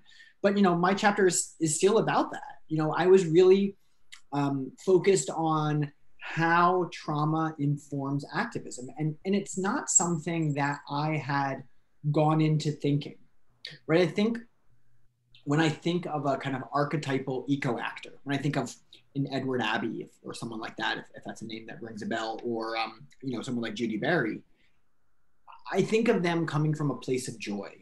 I think of them coming from a, I want to preserve this for my children. Um, I want to show people the beauty of the natural world. Um, you know, certainly there is a sense of loss in it, no question. But when I really got into it, right, when I really started reading literally thousands of claims of responsibility for people who had engaged in sabotage and vandalism. You know, what I found is that the overwhelming majority of them spoke of, of loss and of trauma. You know, real, real trauma. And people spoke of a sort of indescribable sense of, of, of sinking, right? This idea that they were trying to preserve something which they themselves knew full well they could not preserve. Like, you know, just so we're clear, if an activist, um, you know, puts glue in the locks of a bulldozer in order to prevent that bulldozer from felling trees, that activist is not under the false impression that by stopping this particular bulldozer for six to eight hours, that they are going to undo climate change. No one thinks that. Right? Just like no, no one's no one thinks that so for, for for a lot of people you know when i really spoke to them and when i read their writing it wasn't i'm doing this to prevent these trees from being felled it was i'm doing this because if i don't do this i can't live with myself if if i don't do this i won't feel okay that i didn't take a stand. And, and i don't want that to be heard as, as as as selfish or self self-serving. I don't mean that. What i mean is that activists are engaged in risky actions not because they think that that action is going to be the tipping point, but because they feel obliged to engage. They feel obliged to play a, an active role in, in what we can call an eco war, what we can call a climate crisis, or, or whatever. But but again, I want to underscore that they don't feel an obligation as a martyr. They, you know, I'm sure some do, but overwhelmingly, they, they don't see that as a martyr, and they don't see that as like an anger, an anger point. You know, I, I kind of expected to find more anger. What I really found was sadness and loss and people you know people reminiscing about things that they hadn't yet lost but knew they would lose so you know people mm-hmm. walking through a, a field and saying like i'm here defending this field because i know that one day soon this field won't exist like the field exists i'm in it but i know soon it won't exist and so i'm taking a stand so this kind of sort of preemptive preemptive avoidance of future trauma is like the most common recourse and chorus I see throughout all of these writings. Zoe, I have a, a last question for you um, to do with, um, you know, uh, well, to do with the mainstream environmental movement um, and sort of and counter narratives to that, and touched on things like, well, uh, earlier when we were speaking about, um, you, you, know, sort of how how many uh, sort of mainstream conservation and preservation organisations or other forms of environmental sort of organizations are, are, shaped by race and class and gender. And a lot of the times we touched on this in the book as well that you know a lot of ngos employ less you know, lots, uh, very few people of color. There's a green ceiling of white privilege. There's like non white, non hetero, non university educated biases, non wealthy. There's a huge gap between white environmentalism and, and the other when it comes to the Indigenous environmental struggle. Um, you know, tribal voices are historically been left out of decision making processes relating to their affairs since, you know, forever. Um, it's been termed apartheid ecology and the, the sort of counter uh, organising that's come with that has galvanised uh, the type of environmental justice activism embraced by people of colour and the dispossessed and those living on reservations and the poor to develop activist agendas and sort of subaltern um, organi- organising strategies um, that link racism and oppression to a lack of access to resources and territorial struggles and human rights and violations. So, how else do you see sort of polarization or galvanization manifesting in, in environmental efforts or movements? Yeah, well, it's interesting when you told me the premise for this panel. Um, I was just trying to think about how polarization fits into environmental movements. And on the surface, environmental movements are generally associated with the left, like with Democrats, with liberals, progressives. Um, and they're they're seen as being broadly aligned with that side of the political spectrum. But I think there are a lot of undercurrents in the mainstream environmental movement that are very right wing and conservative. Um, and I think the biggest one is just that the kind of mainstream environmental movement is operating from the assumption that essential systems can continue in the way that they are now. And this is especially true with climate change. It's a little bit different with conservation organizations, but there's this assumption that our capitalist consumerist society is not the, the problem and that we don't need to make fundamental changes to how we live and work and consume. And that if we just make some tweaks to the energy sources that we use and the way that we pollute, that we can still maintain this lifestyle with all of the inequality that comes alongside it. Um, and I think that's an extremely conservative, reactionary, right wing, whatever you want to call it, position. Um, mm-hmm. But it's difficult to talk about when politically it's always espoused by the left. Um, so I think any kind of discussion of climate change or of pushing back against the environmental destruction that we're living with that's not directly tied to critiques of capitalism and inequality and really racial capitalism and colonialism in the US are fundamentally not left and not just. Mm-hmm. Um, and that's true to some extent with water policy as well. It's something that we never really talk about or think about, but the kind of society that we live in requires a level of industrial production and resource consumption that is inevitably going to result in contamination and destruction of water resources. So that's just a fundamental paradox that no amount of equitable policy can overcome. Um, and I think that's something really challenging about the Green New Deal framework, because as much as I politically support it and I hope it gains political traction, it's another approach to climate change that doesn't change any fundamental structure that has created um, the circumstances that lead to the destruction of, of our environment. And I think the fact that mainstream environmental movements bought in so hard to the idea of individual choices as the most important level of environmental change, um, which again, I think was really propagated by oil companies and corporations, like using the framework of the carbon footprint to really focus it all on the individual rather than systemic change. Environmentalists are kind of moving away from that now and realizing that that position doesn't work, but it's been used for a long time to exacerbate the kind of racist, classist inequalities in the environmental movement and to place blame on individuals for their choices, like blaming someone for driving a car a lot without looking at why they're doing that. Maybe they can't afford to live close to where they work. Why is their job there? Why has their city been designed around cars? Um, so it's a way to avoid having the more difficult conversations about how society is structured. And then I think just as you said, the kind of undervaluing of Black and Indigenous environmental activism in the mainstream movement, which is now moving more towards kind of fetishization of looking at Indigenous movements as something that will save the planet, but without actually valuing the lives of Indigenous people or really supporting their movements. Mm -hmm. Michael, before before I hand it back to you, would you like to, well, I will hand it back to you and just ask, um, is there anything else you'd like to add um, as I turn it back to you on, on the topic of positive peace? Seeing that's what you started with and we haven't really discussed that directly. I agree with what Zoe is saying. Um, and, and certainly I think that we have a challenge of elevating voices without exploiting voices, with centering people without showing them as as inherently you know being um, ha- having the solution. I think that that's a that's a hard it's a hard thing to navigate, and it's certainly what what we're seeing a lot of now, especially from NGO communities.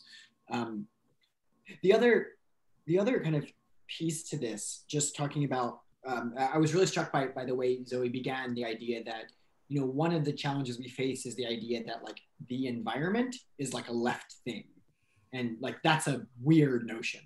And like the pushback to that um, which is which is still small but certainly the coronavirus is making it like a lot worse is this kind of uh, eco-fascist kind of side of that this like wow look no one's you know driving to work. Look the rate of pollution is down. See the virus is the solution right? Like you know you've seen maybe you haven't but if you don't don't I, mean, I don't know but I've seen a lot of this discussion of the kind of like the earth is healing itself like finally like you know the the plague of humanity is giving the earth a break. Um, you know it moves into like social Darwinism you know the like um, you know certainly when certain members of the political administration have advocated um, so-called herd immunity that you know they've said that but I've you know I what I've heard from from from them saying that is um, you know this survival of the fittest. Like yeah you know some of the immunocompromised and elder people yeah they're gonna die but like we just gotta do that for the common good. But like that is like a pretty textbook definition of social darwinism and and and, um, and eco-fascism. The other thing you see within the eco-fascist discourse which is which is really rising in, in popularity in the last few years is this idea that like returning to something which i think is a false construct and, and it's really challenging. Mm-hmm because the left uses it sometimes too, right? Like we need to get back to simpler ways. It's like oh, okay, but you know, like it's not quite that simple, right? I mean, um, you know, many people smarter than myself have pointed out the ways in which industrial society is is you know makes itself um, irreplaceable, right? Like you know, the, the car is a great example, right? And this is you know this is a common argument, but you know, you can choose not to use a car up until the point at which your town is bisected by highways, and then you're kind of out of luck. Um, prior to that, sure, you can ride a horse or you can walk, but you know, once the world has been constructed a certain way. So, so, so what I'm saying is that I think that's a fundamental challenge that we have is how do you get people who don't identify as members of the left or, or even the progressive left to talk about something like this one and two is that how do you push back on the notion that uh, a decrease in human consumption of fossil fuels and mass transportation is is actually not the way in which it's being explained, right? So, so the idea that like the virus, the coronavirus, has given us a chance to heal, and thus, you know, like I, I don't I don't buy that rhetoric, and I think that's really, really, really dangerous rhetoric, especially if we're trying to protect marginalized people. Um, and again, as, as, as, as Zoe said, you know, marginalized people who are marginalized through environmental injustice will almost always map over top of people who are marginalized through economic injustice, racial injustice, et cetera, et cetera. So I think that is a sort of fundamental problem that we face. And also, I guess the, the the fact that we're not talking about certain things like it's the environmental destruction that's that can be linked directly to you know more zoonotic outbreaks of viruses right? So unless we sort of you know start to restore our our natural environments then we're more likely to to have more occurrences of these types of really critical issues that we face with coronavirus. Yeah. our future. For sure that these things are linked right there's there's no there's no way you can have an informed discussion of a global health pandemic without talking about the environment. And, and the fact that we are having those discussions without talking about the environment is is, is silly. Um, you know, and it sort of goes to what Zoe's saying about not not discussing the underlying structural problems with sort of perpetual growth and consumption that's so out of control. Right, or like you know, I think of um, I think of someone like Murray Bookchin, who, whose work I really like, and I had the, the benefit of studying with Murray prior to his death. Um, but you know, Murray Bookchin wrote in the 1970s, I think like in 1972, um, a piece called Post Scarcity Anarchism, which you know basically advocated that like we as a society can use technology to reach a point at which we remove some of the drudgery and are able to live in a post scarcity environment.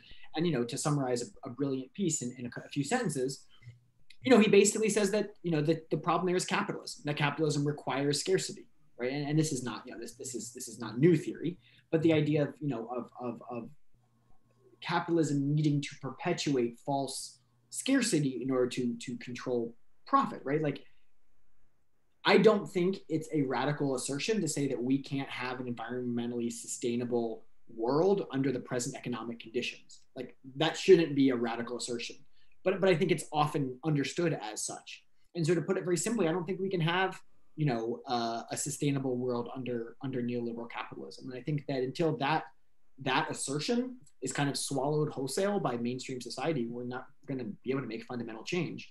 And we'll go back to what Zoe was saying, which is you know people being told to to change their lifestyles like as like I, am vegan my kids are vegan the, the you know like but but i do that for my own reasons i don't do that because i think that that's like shutting down the you know cattle industry you know if you tell people don't drive ride a bike that's awesome it's great for your cardiovascular health it's great for all sorts of things but it's not going to change any of this like to put that on consumers is really uh, intentionally i think unfair and, and a bit disingenuous which is sort to of put, to put it on people without offering any alternatives. Like right. if you're telling people to ride a bike, but you're not providing affordable housing in areas where they're close enough to the things they need to go.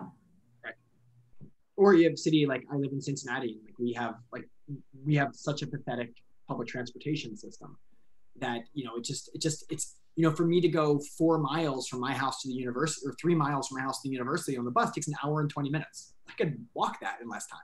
You know, it's just not realistic to tell people who are struggling economically, like, oh, just build in another three hours a day to your commute, right? So it's not about a desire to bike or a desire to take the bus or a desire to drive. It's about like what you need to do to like make ends meet.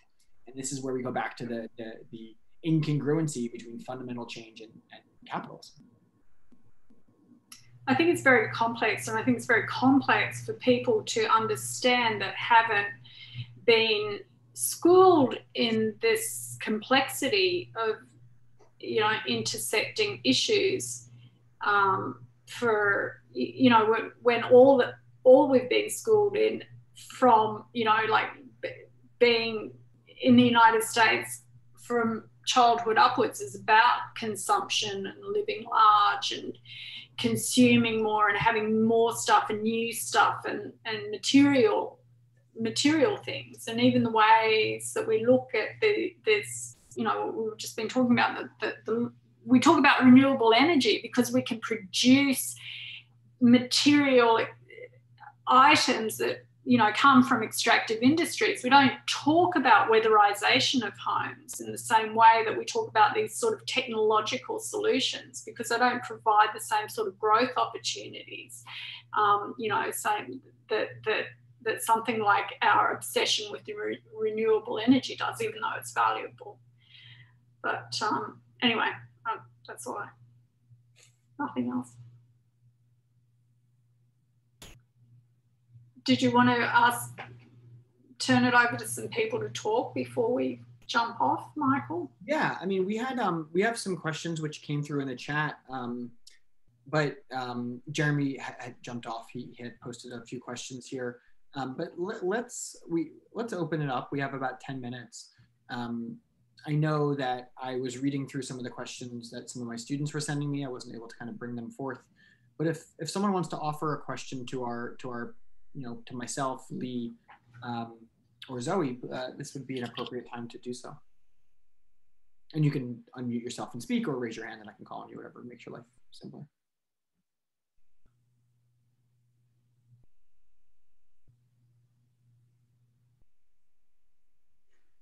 Yeah, Julia, feel free. Thanks. Sorry, I'm having an issue with my camera, but um, I was wondering, and this can just be like a general question for whoever might wish to answer it, but especially um, in the past year, one of my housemates is from New Orleans in Louisiana, and they've been experiencing just nonstop hurricanes and severe weather um, uh, kind of issues that are, of course, being exacerbated by climate change. And so um, I was kind of thinking of how, you know, conservatives often try to avoid taking a real stance on climate change by denying or questioning the proof of human caused climate change.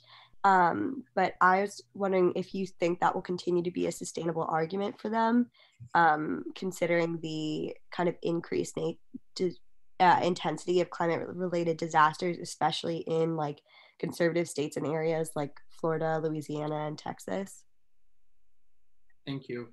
I, I mean, I, I think Zoe and, and Lea are probably in a better position to answer this, but the only thing I would add or point out is that it seems like going back to polarization that we as a country, specifically looking at the last presidential debates, the, the debates in the presidential race, which we just are just experienced, um, is that there does appear to be a bit of an in-group out-group that was developed and fostered during that time between you know so-called climate skeptics and so-called climate advocates. Um, to me, that that's not unique, but it was seemed very uh, exaggerated in the presidential debates. You know, where, where you know, if you'll recall, if you if you stomached them, that there were a couple times, I think, in both debates, um, or but at least one of the presidential debates, where the moderator, you know, said to them, you know, said to both candidates, "Can you, you know, go on record and and say that climate change is caused by humans? You know, that human human caused climate change." Actually, I think it came up in the vice presidential debate as well. And the fact that that question is asked to a mainstream politician when 99% of scientists you know have a consensus shows that that is part of the polarization the fact that that's a controversial point.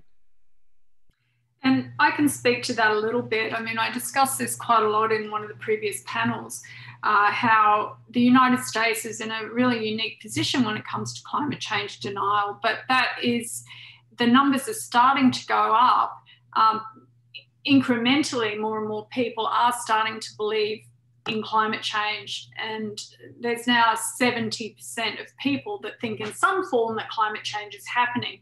About 50% of people in the united states think it's it's they're pretty sure it's happening. And i'm not i can't quite remember what the number for it being anthropogenically induced is. Of course that's lower still but a lot of it ties again to this sort of like these polarized worldviews of, you know, um, sort of you you know Christian groups and that sort of thing, and the worldviews that are sort of held about that, and and even though that, that climate change is becoming more of a recognized issue here, and there's other there's other countries like Australia is pretty bad with climate change denialism, and the UK is as well, but the United States sort of stands alone. But as you were saying, uh, as more and more sort of, you know, sunny day flooding happens and more hurricane frequency, more fires, and it starts to become less and less deniable, um, and as we change our political leadership, you know, the difference between Trump and Biden um, gaining power and, and how they frame that gets back to elite polarization, right? People tending to follow what their leaders say, especially, you know, when it comes to environmental protection. So if we start to see climate change acknowledged not as a question, but as a thing that is happening without that question attached to it, then we'll start to see more movement with with with less of that questioning going on about okay well yeah it exists but is it really human caused? I don't know. There'll be less about that and there'll just be more that'll be taken as a given more and more as we move forward. But that you know that's dependent largely on our on our on our national political um, stage that we're setting as we speak. So would you have anything to add to that? Only thing I would add to that is that I agree with all of that. And at the local level, I'm still optimistic because a lot of climate change adaptation and response is done by local governments. And so they have the ability to do that whether or not their state or their president acknowledges climate change. So in terms of mitigation and cutting emissions, it is really important that we have recognition of climate change at the national level, but for responding to things like hurricanes and making changes to keep people safer and make neighborhoods more resilient, that can all be done at the local level, regardless of whether it's acknowledged or not. Yeah, the action starts at the local and the state level. But the, the general framing, the acknowledgement of the actual, is it real? Is it, is it real and is it anthropologically induced? Um, as more as that starts to happen on a national level. So it's, it's going to be flows of the, the rhetoric, the national rhetoric, and the sort of the, the local to state level actions that sort of coalesce to make the whole conversation. Thank you. Um, we have maybe have time for one more question. Um, JJ, did you have a question? I saw your hand up. Uh, yeah, I wasn't sure how much time we had left, so um, if you don't have to completely, I guess, answer the whole thing. Um, but Zoe, you mentioned something that I guess Michael, you kind of went off of it later. Um, and yeah, so this kind of like relates to that. So um, I think you both kind of mentioned this idea of that climate justice, that climate change. Obviously, it's a global phenomenon that everyone is experiencing it in some way, shape, or form. But oftentimes, you have to appeal towards like the individual, like, how is this directly impacting you in order to get people to get on the train, get on traction? And so, kind of in that sense, I guess my my question's kind of framed around so oh with as we know there is like environmental racism there is classism there are many many barriers preventing people from being quote unquote environmentalists. And i guess how like people who are privileged who don't really have to bear the grunt of what is happening how is like i guess the use i don't know how how to phrase this in a better way how is the use of like egocentrism making climate justice more appealing for um, particularly people in power to get to get on the wagon. And um, do we have to focus so much on how climate injustices focus on like the individual impacts instead of like the collective converging global crisis and like why do we have to focus so much on like well if this doesn't impact me directly then i'm not going to do anything about it. And i guess that's kind of just a phenomenon of capitalism. Like do does the individual impact of like this happening outweigh the profits that i could gain? Um, especially if it's not going to impact me. Um, yeah so it's kind of a bit of a complicated question but um, yeah that's where i'm at thank you jj do Lea or Zoe, do you want to have a crack at that? I'm digesting your question. Yeah.